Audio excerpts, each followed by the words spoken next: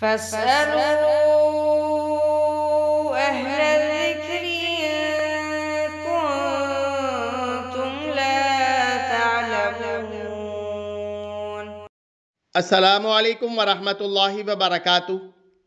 سوال کیا گیا کہ میوزک کی شرعی حیثیت کیا ہے، کیا یہ حرام ہے؟ جیسا کہ آپ نے کہا تھا، قرآن حدیث کی روشنی میں بتائیں بغیر کسی مسلک کے کہ کیا یہ حرام ہے۔ دیکھیے میوزک بالاتفاق جمہور ائمہ کے نزدیک حرام ہے، جائز نہیں ہے۔ دیکھیے، مسلک میں اگر ائمہ نے کوئی بات کہی ہے تو وہ قرآن، حدیث کی روشنی میں ہی کہی ہے۔ اپنی مرضی سے کسی بھی ائمہ نے کوئی بھی بات نہیں کہی۔ اب یہ کہ کسی کا استدلال تھوڑا کم ہو سکتا ہے، کسی کا استدلال زیادہ صحیح ہو سکتا ہے۔ بس اتنی بات ہے، لیکن جتنے بھی استدلال کیے گئے ہیں، تمام ائمہ کے وہ قرآن حدیث کی روشنی میں ہی کیے گئے ہیں۔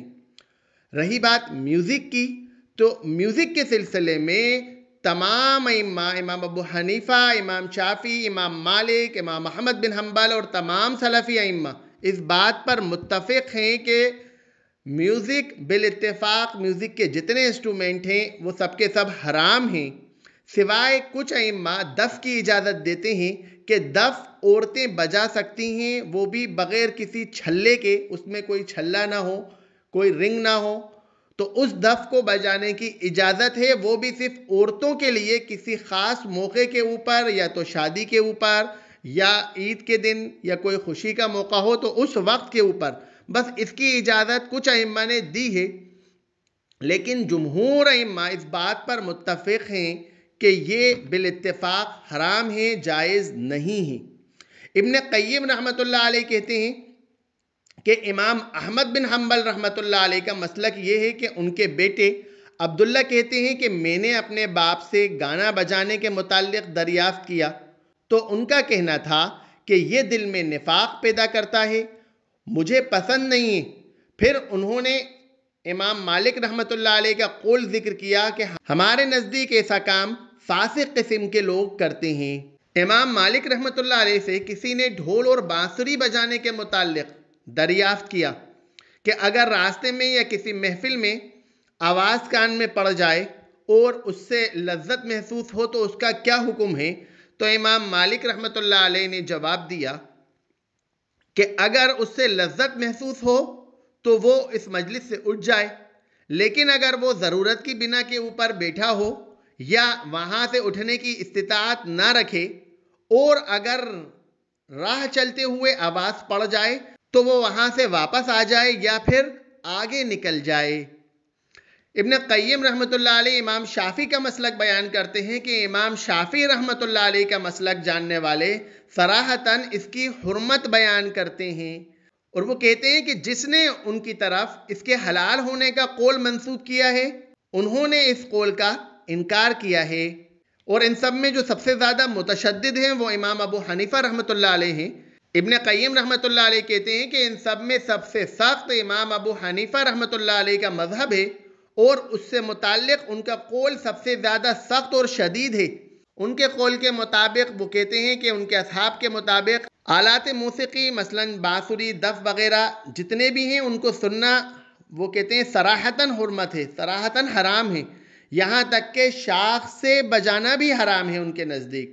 اور وہ کہتے ہیں کہ یہ ایک ایسا گناہ ہے جو فسق کو واجب کرتا ہے اور گواہی کو رد کرنے کا باعث بنتا ہے۔ اور اس سے زیادہ سخت قول کہتے ہیں کہ اس سے لذت حاصل کرنا وہ کفر ہے۔ تو یہ احناف کے اقوال ہیں۔ تو اس مسئلے کے اندر تمام ائمہ کا ہمیں اتفاق ملتا ہے۔ اب یہ ائمہ نے یہ بات کیوں کہی؟ ائمہ نے جو یہ مسئلہ کہا، وہ احادیث کی بنیاد کے اوپر کہا، اس سلسلے میں ہمیں بہت ساری احادیث ملتی ہیں، قرآن کی آیت ملتی ہے، جس سے ائمہ نے استدلال کیا۔ سب سے پہلی دلیل وہ جو ملتی ہے ہمیں، وہ یہ کہ اللہ تعالیٰ قرآن میں کہتا ہے، اعوذ باللہ من الشیطان الرجیم، وَمِنَ النَّاسِ مَن يَشْتَرِي لَهْوَ الْحَدِيثِ لِيُدِلَّ عَن سَبِيلِ اللَّهِ بِغَيْرِ علم۔ اللہ تعالیٰ کہہ رہا ہے کہ انسانوں ہی میں سے کوئی ایسا بھی ہے جو کلام دل فریب خرید کر لاتا ہے تاکہ لوگوں کو اللہ کے راستے سے بغیر علم کے بھٹکا دے۔ اب یہاں پر اللہ تعالیٰ نے کہا کہ کلام دل فریب خرید کر لاتا ہے، لہو الحدیث۔ یہ لہو الحدیث کیا ہے؟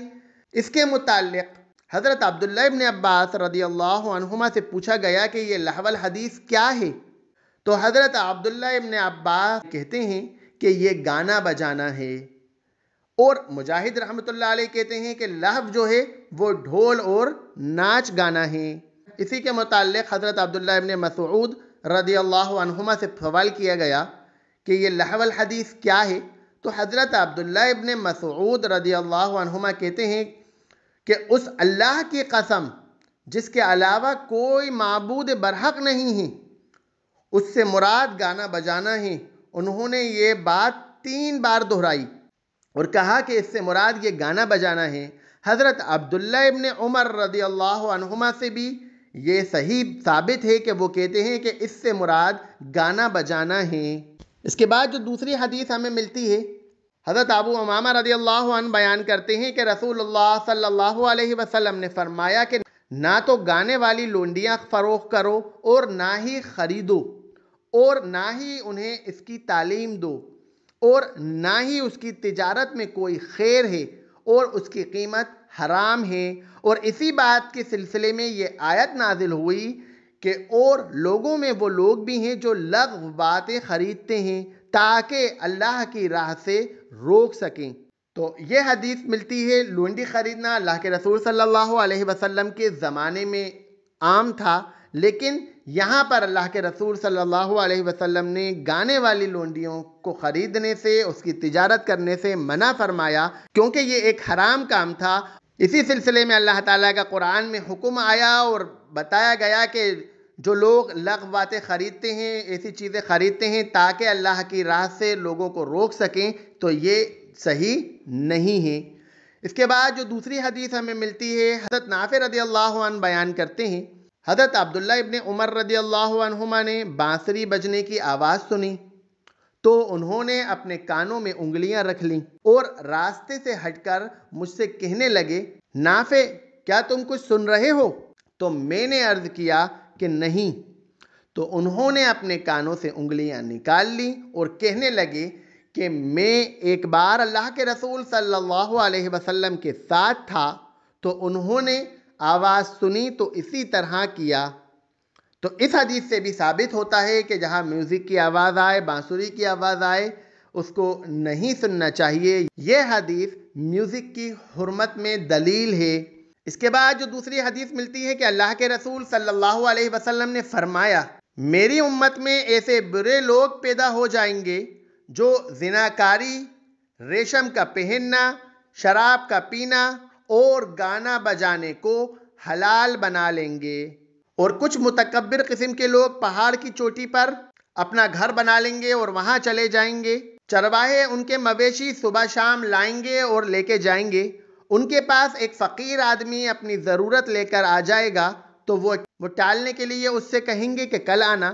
لیکن اللہ تعالیٰ ان کو رات کو ان کی سرکشی کی وجہ سے ہلاک کر دے گا۔ پہاڑ کو ان پر گرا دے گا اور ان میں سے بہت سو کو قیامت تک کے لیے بندر اور سور کی صورتوں میں مسق کر دے گا۔ یہ حدیث بالکل میوزک کی حرمت کی دلیل ہے کہ اس میں اللہ کے رسول صلی اللہ علیہ وسلم نے فرمایا کہ کچھ لوگ ایسے آئیں گے جو زناکاری کو حلال کہیں گے، ریشم کے پہننے کو حلال کہیں گے، شراب کے پینے کو حلال کہیں گے اور گانا بجانے کو بھی حلال بنا لیں گے۔ تو یہ جو الفاظ ہیں کہ ایسا وقت آئے گا کہ گانا بجانے کو حلال بنا لیں گے اور ہم یہ دیکھ رہے ہیں کہ یہ وقت تو شروع ہو چکا کہ لوگ گانا بجانے کو حلال سمجھ رہے ہیں اور اس میں دلائل دے رہے ہیں کہ نہیں، یہ حلال ہے۔ تو بالاتفاق میوزک کا سننا جائز نہیں ہے۔ اس کے متعلق ہمیں بہت سارے ائمہ کے اقوال ملتے ہیں جو اس کی حرمت کے قائل ہیں۔ قاسم رحمۃ اللہ علیہ کہتے ہیں، گانا بجانا باطل میں سے ہے۔ حسن رحمۃ اللہ علیہ کہتے ہیں، اگر ولیمے میں گانا بجانا وغیرہ ہو تو اس کی دعوت قبول نہ کرو۔ شیخ الاسلام ابن تیمیہ رحمۃ اللہ علیہ کہتے ہیں کہ ائمہ اربا کا مذہب یہی ہے کہ گانا بجانے کے سب کے سب آلات حرام ہیں کیونکہ بخاری وغیرہ میں ثابت ہے کہ اللہ کے رسول صلی اللہ علیہ وسلم نے خبر دی کہ ان کی امت میں کچھ لوگ ایسے آئیں گے جو زنا، ریشم، شراب اور گانا بجانا حلال کر لیں گے۔ تو وہ کہتے ہیں کہ اس حدیث میں بیان کیا گیا ہے کہ بندر کی طرح مس کر دیا جائے گا، خنزیر کی طرح بنا دیا جائے گا۔ تو اسی لیے وہ کہتے ہیں کہ ائمہ اکرام کے پیروکاروں میں سے کسی نے بھی گانا بجانے کے آلات میں اختلاف ذکر ہی نہیں کرا۔ شیخ البانی رحمۃ اللہ علیہ کہتے ہیں کہ ائمہ اربع اس بات پر متفق ہیں کہ گانا بجانے کے آلات حرام ہیں۔ ابن قدامہ رحمۃ اللہ علیہ کہتے ہیں کہ جو شخص مستقل طور پر گانا سنتا ہے، اس کی گواہی قبول نہیں کی جائے گی، وہ گواہی میں مردود ہے۔ دوسری جگہ ابن قدامہ رحمۃ اللہ علیہ کہتے ہیں کہ اگر اسے کسی ایسے ولیمے کی دعوت ملے، جس میں برائی ہو، مثلا شراب نوشی، گانا بجانا، اور اس کے لیے وہاں جا کر اس برائی سے منع کرنا ممکن ہو، تو وہ وہاں شرکت کرے اور وہاں جا کے اس برائی سے روکے۔ کیونکہ اس طرح دو واجب اکٹھا ہو کر سکتا ہے وہ۔ لیکن اگر اس کے لیے روکنا ممکن نہ ہو تو پھر وہ وہاں شرکت نہ کرے۔ ابن تیمیہ رحمۃ اللہ علیہ کہتے ہیں، گانا بجانے کے آلات تیار کرنا جائز نہیں ہے۔ ابن ابی شیبہ نے روایت کیا کہ ایک شخص نے کسی شخص کا ڈھول توڑ دیا تو وہ اپنا معاملہ قاضی کے پاس لے کے گیا۔ تو قاضی نے اس کے اوپر کوئی بھی جرمانہ عائد نہیں کیا۔ اور کوئی بھی نقصان بھرنے کا حکم نہیں دیا کیونکح وہ حرام ہے اور اس کی کوئی بھی قیمت نہیں ہے۔ تو اس سلسلے میں ہمیں بہت سارے دلائل ملتے ہیں، بہت ساری ہمیں حدیثیں ملتی ہیں، آثار ملتے ہیں۔ سلف کے تمام ائمہ اس بات پر متفق ہیں کہ گانا بجانے کے آلات تمام کے تمام حرام ہیں، دف کی اجازت صرف ملتی ہے۔ اس کے علاوہ سب کے سب حرام ہیں، جائز نہیں ہیں۔ وآخر دعوانا عن الحمد رب العالمین۔